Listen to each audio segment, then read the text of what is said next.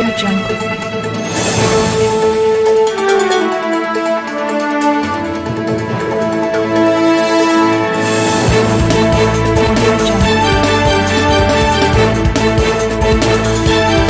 ਸਤਿ ਸ਼੍ਰੀ ਅਕਾਲ ਜੀ ਜਿੰਨੇ ਵੀ ਜਲੰਧਰ ਨਿਵਾਸੀ ਨੇ ਸਾਰਿਆਂ ਨੂੰ ਮੇਰੇ ਵੱਲੋਂ ਗੁੱਡ ਈਵਨਿੰਗ ਸਤਿ ਸ਼੍ਰੀ ਅਕਾਲ ਜਿਵੇਂ ਕਿ ਆਪਾਂ ਪਿਛਲੇ ਦਿਨਾਂ 'ਚ ਦੇਖਿਆ ਕੱਲ 19 ਤਰੀਕ ਤੱਕ ਆਪਣੇ ਜਿਹੜੇ ਹੈਗੇ ਆ 47 ਕੋਵਿਡ ਦੇ ਮਰੀਜ਼ ਆਲਰੇਡੀ ਜਿਹੜੇ ਹੈਗੇ ਡਿਟੈਕਟ ਹੋਏ ਨੇ। ਅੱਜ ਵੀ ਇੱਕ ਰਿਪੋਰਟ ਪੋਜ਼ਿਟਿਵ ਆਈ ਹੈ। ਇਹ ਗੱਲ ਵੈਸੇ ਚਿੰਤਾ ਵਾਲੀ ਹੈ ਔਰ ਆਪਾਂ ਨੂੰ ਸਾਰਿਆਂ ਨੂੰ ਇਹ ਤਹੀਆ ਕਰਨਾ ਚਾਹੀਦਾ ਕਿ ਆਪਾਂ ਘਰਾਂ 'ਚ ਰਹੀਏ। ਬਟ ਨਾਲੋਂ ਨਾਲ ਇੱਕ ਗੱਲ ਮੈਂ ਤੁਹਾਡੇ ਨਾਲ ਸਾਂਝੀ ਕਰਨਾ ਚਾਹੁੰਦਾ ਕਿ ਇਹ ਜਿਹੜੇ ਕੰਟੈਕਟ ਹੈਗੇ ਨੇ ਪੁਰਾਣੇ ਜਿਹੜੇ ਕੰਟੈਕਟ ਸੀਗੇ, ਜਿਹੜੇ ਪੋਜ਼ਿਟਿਵ ਕੇਸਿਸ ਨੇ, ਅਸੀਂ ਬੜੀ ਡਿਟੇਲ ਦੇ ਵਿੱਚ ਉਹਨਾਂ ਦੀ ਜਿਹੜੀ ਹੈਗੀ ਹੈ ਚੈਕਿੰਗ ਕਰਾਈ ਹੈ। ਉਹਨਾਂ ਦੀ ਫਰਦਰ ਰਿਲੇਟਿਵਸ ਇਹ ਲੱਭੇ ਨੇ। ਪਰ ਬਾਕੀ ਲੋਕਾਂ ਨੂੰ ਮੇਰੀ ਬੇਨਤੀ ਹੈ ਕਿ ਆਪਣੇ ਘਰਾਂ 'ਚ ਰਹੋ ਤਾਂ ਕਿ ਤੁਸੀਂ ਇਸ ਬਿਮਾਰੀ ਤੋਂ ਬਚੇ ਰਹੋ।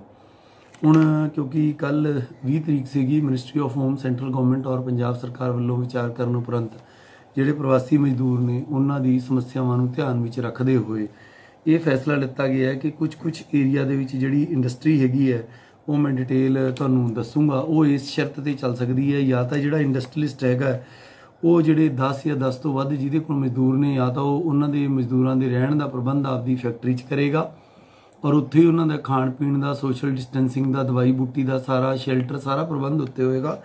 ਜਾਂ ਫਿਰ ਜੇ ਉਹ ਨੇੜੇ ਦੇ ਕਿਸੇ ਏਰੀਏ ਤੋਂ ਆਉਂਦੇ ਨੇ ਤਾਂ ਪ੍ਰਾਈਵੇਟ ਬੱਸ ਰਾਹੀਂ, ਜਿਹਦਾ ਕਿ ਪਾਸ ਸਾਡੇ ਸਰਕਾਰ ਵੱਲੋਂ ਦਿੱਤਾ ਜਾਵੇਗਾ, ਉਹ ਉਹਨਾਂ ਨੂੰ ਰੋਜ਼ ਲੈ ਕੇ ਆਉਣੇ ਪੈਣਗੇ। ਬਟ ਇੱਕ ਬੱਸ ਦੇ ਵਿੱਚ 40% ਸੀਟਾਂ ਹੀ ਭਰੀਆਂ ਜਾਣਗੀਆਂ ਔਰ ਜਿਹੜਾ ਸੋਸ਼ਲ ਡਿਸਟੈਂਸਿੰਗ ਹੈ ਉਹਨੂੰ ਮੇਨਟੇਨ ਕੀਤੀ ਜਾਏਗੀ।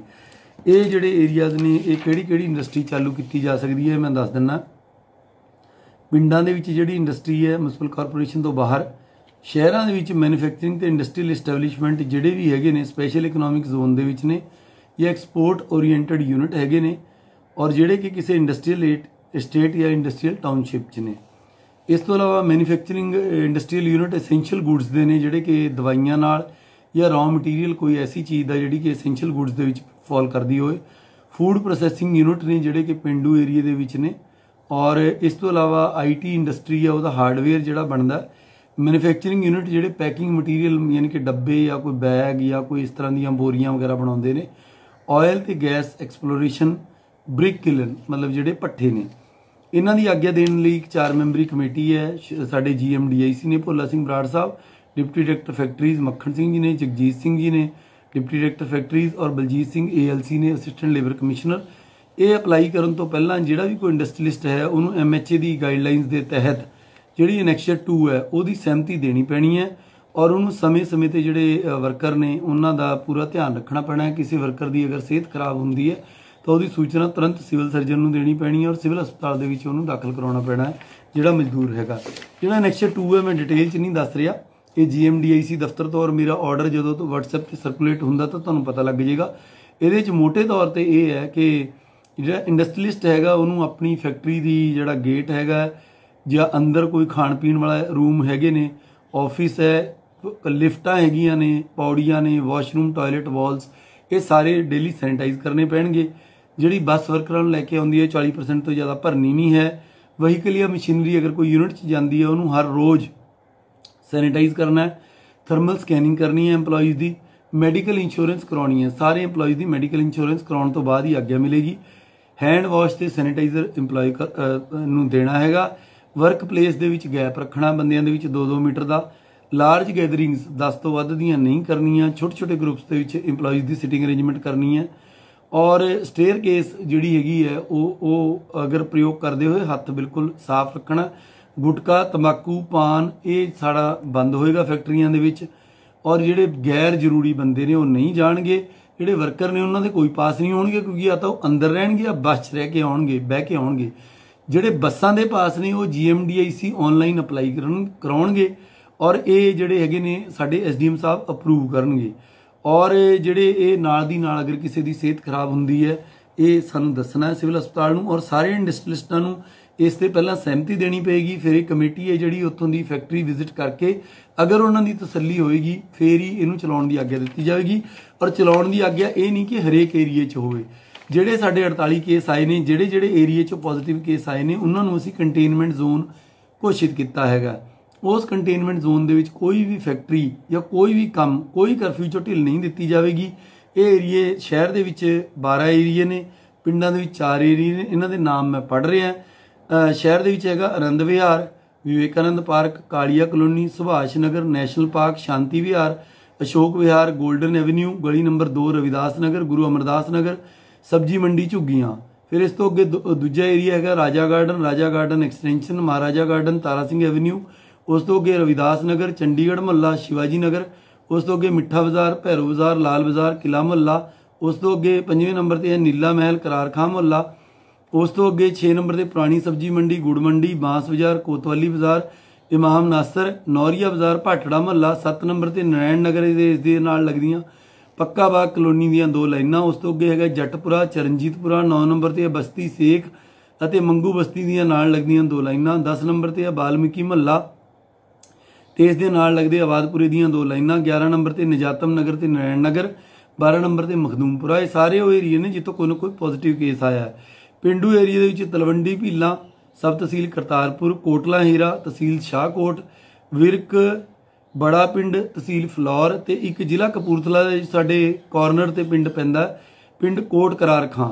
ਇਹ ਚਾਰੇ ਜਿਹੜੇ ਪਿੰਡ ਨੇ, ਇਹਨਾਂ ਦੀ ਹਦੂਦ ਤੋਂ 5 ਕਿਲੋਮੀਟਰ ਦੇ ਘੇਰੇ 'ਚ ਜਿਹੜੇ ਪਿੰਡ ਆਉਂਦੇ ਨੇ, ਉਹ ਵੀ ਕੰਟੇਨਮੈਂਟ ਜ਼ੋਨ 'ਚ ਆਣਗੇ ਕੰਟੇਨਮੈਂਟ ਜ਼ੋਨ 'ਚ ਤਾਂ ਬਿਲਕੁਲ ਸੀਲ ਰਹੇਗਾ, ਜਿਹੜੀ ਜ਼ਰੂਰੀ ਅਸ਼ੀਆ ਉਹ ਘਰੋਂ ਘਰੀ ਜਾਣਗੀਆਂ। ਜਿਹੜਾ ਬਾਕੀ ਜ਼ਿਲ੍ਹਾ ਵੀ ਹੈ, ਮੈਂ ਕਲੀਅਰ ਕਰ ਦਵਾਂ ਕਰਫਿਊ ਪਹਿਲਾਂ ਦੀ ਤਰ੍ਹਾਂ ਜਾਰੀ ਰਹੇਗਾ। ਸਿਰਫ ਇਹ ਇੰਡਸਟਰੀ ਜਿਹੜੀ ਹੈਗੀ ਹੈ, ਇਹ ਵੀ GMDIC ਦੀ ਜਿਹੜੀ ਚਾਰ ਮੈਂਬਰੀ ਕਮੇਟੀ ਹੈ, ਉਹਨਾਂ ਤੋਂ ਆਗਿਆ ਲੈ ਕੇ, ਪਾਸ ਲੈ ਕੇ, ਜਦੋਂ ਸਾਰੀ ਆਗਿਆ ਮਿਲ ਗਈ, ਫਿਰ ਆਪਦੀ ਪ੍ਰੋਡਕਸ਼ਨ ਤੇ ਐਕਸਪੋਰਟ ਸ਼ੁਰੂ ਕਰ ਸਕਦੇ ਆ ਕਰਫਿਊ 'ਚ ਕੋਈ ਢਿੱਲ ਨਹੀਂ ਹੈਗੀ। ਇਸ ਤੋਂ ਇਲਾਵਾ ਇਹ ਹੈਗਾ ਕਿ ਸੈਂਟਰਲ ਗਵਰਨਮੈਂਟ ਦੇ ਜਿਹੜੇ ਆਫਿਸਿਸ ਨੇ, ਉਹ ਆਨਲਾਈਨ ਪਾਸ ਲੈ ਕੇ ਆਪਣਾ ਜਿਹੜਾ ਕੰਮ ਹੈ, ਚਾਲੂ ਕਰ ਸਕਦੇ ਆ, ਪਰ ਇਹਦੇ ਲਈ ਆਨਲਾਈਨ ਪਾਸ ਲੈਣੇ ਜ਼ਰੂਰੀ ਹੋਣਗੇ। ਉਸ ਤੋਂ ਇਲਾਵਾ ਸਰਕਾਰ ਦੀਆਂ ਜਿਹੜੀਆਂ ਸੜਕਾਂ ਤੇ ਨਹਿਰਾਂ ਦਾ ਜਿਹੜਾ ਕੰਮ ਹੈ ਕਿਉਂਕਿ ਅੱਗੇ ਸੌਣੀ ਦੀ ਫਸਲ ਆਣੀ ਹੈ ਇਹ ਏਡੀਸੀ ਡਿਵੈਲਪਮੈਂਟ ਵਿਸ਼ੇਸ਼ ਤਰੰਗਲ ਜੀ ਤੋਂ ਆਗਿਆ ਲੈ ਕੇ ਖਾਸ ਕੇਸਾਂ 'ਚ ਕੰਮ ਸ਼ੁਰੂ ਹੋ ਸਕਦਾ। ਪੰਜਾਬ ਸਰਕਾਰ ਦੇ ਜਿਹੜੇ ਅਫਸਰ ਪਹਿਲਾਂ ਅੰਗੂ ਦਫ਼ਤਰਾਂ 'ਚ ਕੰਮ ਕਰ ਰਹੇ ਆ, ਉਹ ਕਰਦੇ ਰਹਿਣਗੇ। ਹੈਲਥ ਸਰਵਿਸਿਜ਼ ਦੇ ਵਿੱਚ ਪਹਿਲਾਂ ਹੀ ਸਾਡੀ ਓਪੀਡੀ ਜਲੰਧਰ ਜ਼ਿਲ੍ਹੇ 'ਚ ਸਾਰੀ ਜਿਹੜੀ ਅੰਗਰੇਜ਼ੀ ਦਵਾਈਆਂ ਦੀ ਖੁੱਲੀ ਹੈ। ਇਸ ਦੇ ਨਾਲੋਂ ਨਾਲ ਆਯੂਸ਼ ਆਯੁਰਵੇਦਾ ਹੋਮਿਓਪੈਥੀ ਯੂਨਾਨੀ ਸਾਰੇ ਇਹ ਡਾਕਟਰ ਵੀ ਆਪਦੀ ਓਪੀਡੀ ਖੋਲ ਸਕਦੇ ਆ ਵੈਟਰਨਰੀ ਡਾਕਟਰ ਵੀ ਆਪਦੀ ਓਪੀਡੀ ਖੋਲਣਗੇ ਔਰ ਇਹਨਾਂ ਦੇ ਜਿਹੜੇ ਆਪਦੇ ਹਸਪਤਾਲਾਂ ਦੇ ਆਇਡੈਂਟੀ ਕਾਰਡ ਹੈ, ਉਹੀ ਪਾਸ ਮੰਨੇ ਜਾਣਗੇ। ਇਹਨਾਂ ਨੂੰ ਵੱਖਰਾ ਪਾਸ ਲੈਣ ਦੀ ਕੋਈ ਲੋੜ ਨਹੀਂ ਹੈਗੀ। ਇਸ ਤੋਂ ਇਲਾਵਾ ਡਰੱਗ ਬਣਾਉਣ ਵਾਲੀਆਂ ਫੈਕਟਰੀਆਂ ਦਵਾਈਆਂ ਦੀਆਂ ਫੈਕਟਰੀਆਂ pharmaceutical unit medical devices oxygen oxygen ਦਾ ਪੈਕਿੰਗ ਮਟੀਰੀਅਲ ਰॉ ਮਟੀਰੀਅਲ ਇਹ ਸਾਰੀਆਂ ਜਿਹੜੀਆਂ ਫੈਕਟਰੀਆਂ ਕਿਉਂਕਿ ਇਹ ਜਾਨ ਬਚਾਉਣ ਲਈ ਜ਼ਰੂਰੀ ਨੇ, ਇਹ ਵੀ ਆਪਦਾ ਕੰਮ ਸ਼ੁਰੂ ਕਰ ਸਕਦੀਆਂ ਨੇ। ਪਰ GMDIC ਤੋਂ ਇਹਨਾਂ ਨੂੰ ਇੱਕ ਵਾਰੀ ਆਪਦੀ ਆਗਿਆ ਲੈਣੀ ਪੈਣੀ ਹੈ। ਇੰਸ਼ੋਰੈਂਸ ਕੰਪਨੀ ਜਿਹੜੀਆਂ 10 ਵਜੇ ਤੋਂ 5 ਵਜੇ ਤੱਕ ਆਪਦਾ ਸਰਵਰ ਅਪ ਕਰਨ ਦੇ ਲਈ ਔਰ ਆਪਦਾ ਜਿਹੜਾ ਕਲੋਜ਼ਿੰਗ ਦਾ ਕੰਮ ਕਰਨ ਲਈ ਖੁੱਲ ਸਕਦੀਆਂ ਨੇ, ਪਰ ਇਹਨਾਂ ਤੇ ਕੋਈ ਵੀ ਗ੍ਰਾਹਕ ਨੂੰ ਡੀਲ ਨਹੀਂ ਕੀਤਾ ਜਾਵੇਗਾ ਔਰ ਇਹਦੇ ਜਿਹੜੇ ਮੁਲਾਜ਼ਮ ਨੇ ਸੋਸ਼ਲ ਡਿਸਟੈਂਸਿੰਗ ਬਣਾਈ ਰੱਖਣਗੇ ਔਰ ਆਨਲਾਈਨ ਪਾਸ ਲੈ ਕੇ ਹੀ ਇਹ ਆਪਦੇ ਦਫ਼ਤਰ ਦੇ ਵਿੱਚ ਜਾ ਸਕਦੇ ਨੇ।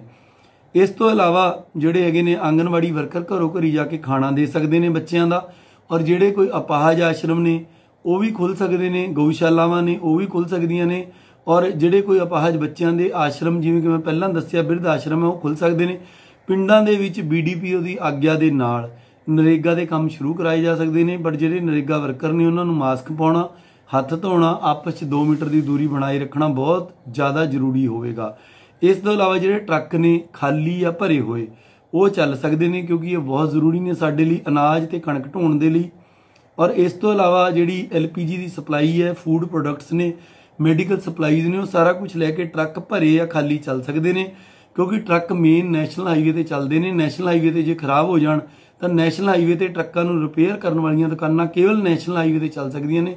ਮੁਨਸਪਲ ਏਰੀਆ 'ਚ ਕੋਈ ਵੀ ਟਰੱਕਾਂ ਦੀ ਦੁਕਾਨ ਨਹੀਂ ਖੁੱਲੇਗੀ ਨਾ ਹੀ ਕਿਸੇ ਨਗਰ ਪੰਚਾਇਤ ਜਾਂ ਮਿਊਨਿਸਪੈਲਿਟੀ 'ਚ ਖੁੱਲੇਗੀ ਇਸ ਤੋਂ ਇਲਾਵਾ ਨੈਸ਼ਨਲ ਹਾਈਵੇ ਤੇ ਜਿਹੜੇ ਟਰੱਕਾਂ ਵਾਲੇ ਵੀਰ ਨੇ, ਉਹਨਾਂ ਦੇ ਲਈ ਢਾਬੇ ਖੁੱਲ ਸਕਦੇ ਨੇ ਪਰ ਮਿਊਨਿਸਪਲ ਏਰੀਆ 'ਚ ਜਾਂ ਨਗਰ ਪੰਚਾਇਤ ਜਾਂ ਮਿਊਨਿਸਪੈਲਿਟੀ ਦੇ ਏਰੀਆ 'ਚ ਕੋਈ ਵੀ ਢਾਬਾ ਨਹੀਂ ਖੁੱਲੇਗਾ ਜਿਹੜੇ ਨੈਸ਼ਨਲ ਹਾਈਵੇ ਤੇ ਕੇਵਲ ਡਰਾਈਵਰਾਂ ਲਈ ਢਾਬੇ ਖੁੱਲੇ ਨੇ, ਉਹ ਡਰਾਈਵਰਾਂ ਨੂੰ ਟੇਕ ਅਵੇ ਭੋਜਨ, ਮਤਲਬ ਪੈਕ ਕਰਕੇ ਰੋਟੀ ਦੇ ਸਕਦੇ ਨੇ, ਉਹ ਆਪਦੇ ਟਰੱਕ 'ਚ ਬੈਠ ਕੇ ਕਿਤੇ ਰੋਕ ਕੇ ਖਾਊਗਾ। ਔਰ ਜਿਹੜੇ ਢਾਬੇ ਨੇ, ਉਹਨਾਂ ਤੇ ਮਜਲਿਸ ਜਾਂ ਇਕੱਠ ਨਹੀਂ ਕੀਤਾ ਜਾਏਗਾ। ਅਗਰ ਐਸਾ ਹੋਇਆ ਤਾਂ ਐਸੇ ਢਾਬਿਆਂ ਨੂੰ ਸਖਤੀ ਨਾਲ ਬੰਦ ਕਰ ਦਿੱਤਾ ਜਾਵੇਗਾ। ਅਖੀਰ 'ਚ ਮੈਂ ਦੁਬਾਰਾ ਸਪਸ਼ਟ ਕਰ ਰਿਹਾ ਕਰਫਿਊ 'ਚ ਕੋਈ ਛੋਟ ਨਹੀਂ। ਪਹਿਲਾਂ ਵਾਲੀ ਸਖਤੀ ਪਹਿਲਾਂ ਵਾਂਗੂ ਲਾਗੂ ਰਹੂਗੀ। ਹੋਮ ਸਪਲਾਈ ਤੁਹਾਨੂੰ ਹੋਊਗੀ ਦੁੱਧ ਦੀ, ਸਬਜ਼ੀ ਦੀ, ਫਲਾਂ ਦੀ ਔਰ ਜਿਹੜਾ ਵੀ ਤੁਹਾਡਾ ਰਾਸ਼ਨ ਹੈਗਾ ਉਹ ਸਾਰਾ ਕੁਝ ਪਹਿਲਾਂ ਵਾਂਗੂ ਘਰਾਂ 'ਚ ਤੁਹਾਨੂੰ ਮਿਲੂਗਾ ਔਰ ਦਵਾਈਆਂ ਵਗੈਰਾ ਦੀ ਅਸੀਂ 4 ਘੰਟੇ ਪਹਿਲਾਂ ਹੀ ਦੁਕਾਨਾਂ ਖੋਲ ਰਹੇ ਹਾਂ ਔਰ ਇਹ ਜਿਹੜੀ ਛੋਟ ਹੈਗੀ ਇਹ ਸਿਰਫ ਇਸ ਕਰਕੇ ਦਿੱਤੀ ਹੈ ਕਿ ਜਿਹੜੇ ਪਿੰਡਾਂ ਦੇ ਨਰੇਗਾ ਮਜ਼ਦੂਰ ਨੇ ਜਾਂ ਸ਼ਹਿਰਾਂ ਦੇ ਜਿਹੜੇ ਮਜ਼ਦੂਰ ਨੇ ਉਹ ਆਪਦੀ ਫੈਕਟਰੀ 'ਚ ਜਾ ਕੇ ਅੰਡਰ ਪਰਮਿਸ਼ਨ ਕੰਮ ਕਰ ਸਕਣ ਤਾਂ ਕਿ ਇਹ ਗੱਲ ਜਿਹੜੀ ਆ ਰਹੀ ਸੀ ਬਾਰ-ਬਾਰ ਮਜ਼ਦੂਰ ਵਰਗ ਜਿਹੜਾ ਹੈਗਾ ਉਹਨੂੰ ਭੁੱਖਮਰੀ ਦਾ ਸ਼ਿਕਾਰ ਹੋਣਾ ਪੈ ਰਿਹਾ ਮੁੱਖ ਮੰਤਰੀ ਸਾਹਿਬ ਇਹ ਚਾਹੁੰਦੇ ਨੇ ਕਿ ਮਜ਼ਦੂਰ ਵਰਗ ਆਪਦੇ ਕੰਮ ਲੱਗੇ, ਪਰ ਅਗਰ ਕੋਈ ਵੀ ਇੰਡਸਟਰੀ ਜਾਂ ਕੋਈ ਵੀ ਨਰੇਗਾ ਦਾ ਕੰਮ ਜਾਂ ਕਿਸੇ ਵੀ ਬੰਦੇ ਨੇ ਅਗਰ ਇਸ ਨਿਯਮ 'ਚ ਜਿਹੜੀ ਥੋੜੀ ਮੋਟੀ ਢਿੱਲ ਦਿੱਤੀ ਹੈ, ਇਹਦਾ ਨਜਾਇਜ਼ ਫਾਇਦਾ ਉਠਾ ਕੇ ਅਗਰ ਕਿਸੇ ਨੇ ਭੀੜ ਲਾਈ ਜਾਂ ਕੋਵਿਡ ਨੂੰ ਫੈਲਾਇਆ, ਤਾਂ ਇਹ ਜਿਹੜੀ ਛੋਟ ਹੈ ਤੁਰੰਤ ਵਾਪਸ ਲੈ ਲਈ ਜਾਏਗੀ। ਅਖੀਰ 'ਚ ਮੈਂ ਦੁਬਾਰਾ ਬੇਨਤੀ ਕਰ ਰਿਹਾ ਕਿ ਕਰਫਿਊ ਉਸੇ ਸਖਤੀ ਨਾਲ ਜਾਰੀ ਹੈ। ਇਹ ਸਿਰਫ ਕੁਝ ਵਿਸ਼ੇਸ਼ ਕੈਟਾਗਰੀਜ਼ ਨੂੰ ਛੋਟ ਮਿਲੀ ਹੈਗੀ ਹੈ ਔਰ ਛੋਟ ਵੀ ਇਹ ਨਹੀਂ ਕਿ ਮਜ਼ਦੂਰ ਸਾਈਕਲਾਂ ਤੇ ਜਾਣਾ ਸ਼ੁਰੂ ਕਰ ਦੇਣ। ਜਿਹੜੀ ਫੈਕਟਰੀ ਮਾਲਕ ਬੱਸ ਭੇਜੂਗਾ ਕੇਵਲ ਉਸ ਬੱਸ ਤੇ ਜਾਣਾ, ਬੱਸ ਤੇ ਪਾਸ ਲੱਗੇ ਹੋਣਾ ਚਾਹੀਦਾ। ਜੇਕਰ ਕੋਈ ਸੜਕਾਂ ਤੇ ਇਦਾਂ ਘੁੰਮਦਾ ਫਿਰਦਾ ਬਿਨਾਂ ਆਗਿਆ ਤੋਂ ਦੇਖਿਆ ਗਿਆ, ਤਾਂ ਉਹਨੂੰ ਫੜ ਕੇ ਅੰਦਰ ਦਿੱਤਾ ਜਾਊਗਾ। ਕਾਰਵਾਈ ਕੀਤੀ ਜਾਊਗੀ। ਅਖੀਰ 'ਚ ਮੈਂ ਜਲੰਧਰ ਵਾਸੀਆਂ ਨੂੰ ਦੁਬਾਰਾ ਤੋਂ ਅਪੀਲ ਕਰਦਾ ਕਿ ਆਪਦੇ ਘਰਾਂ ਤੋਂ ਬਾਹਰ ਨਾ ਆਉਣ। ਇਹ ਬਿਮਾਰੀ ਬੜੀ ਡੈਡਲੀ ਹੈ, ਇਸ ਤੋਂ ਬਚੋ। ਔਰ ਖਾਸ ਕਰ ਇਹ 12 ਮਹੱਲੇ ਜਿਹੜੇ ਮੈਂ ਸ਼ੁਰੂ 'ਚ ਦੱਸੇ ਆ ਕੰਟੇਨਮੈਂਟ ਜ਼ੋਨ ਇਸ ਵੀਡੀਓ ਦੇ ਔਰ ਚਾਰ ਪਿੰਡ। ਇੱਥੋਂ ਦੇ ਜਿਹੜੇ ਵਸਨੀਕ ਹੈ ਕਿਉਂਕਿ ਇਹ ਪੋਜ਼ਿਟਿਵ ਕੇਸਿਸ ਵਾਲੇ ਏਰੀਏ ਨੇ ਇੱਥੇ ਬਿਲਕੁਲ ਪੱਤਾ ਵੀ ਨਹੀਂ ਹਿੱਲੇਗਾ ਔਰ ਕਰਫਿਊ ਬਹੁਤ ਸਖਤੀ ਨਾਲ ਲਾਗੂ ਰਹੇਗਾ। ਇਹ ਸਾਰੀਆਂ ਛੋਟਾਂ ਇਹਨਾਂ ਏਰੀਆਜ਼ ਤੇ ਲਾਗੂ ਨਹੀਂ। ਇਹਨਾਂ ਏਰੀਆ ਦੇ ਵਿੱਚ ਘਰੋ ਘਰੀ ਜਾ ਕੇ ਜੋ ਸਮਾਨ ਹੈ ਉਹ ਮਿਲੇਗਾ। ਅਗਰ ਕੋਈ ਬਾਹਰ ਨਿਕਲਿਆ ਤਾਂ ਉਸ ਤੇ ਕਾਰਵਾਈ ਹੋਵੇਗੀ। ਧੰਨਵਾਦ।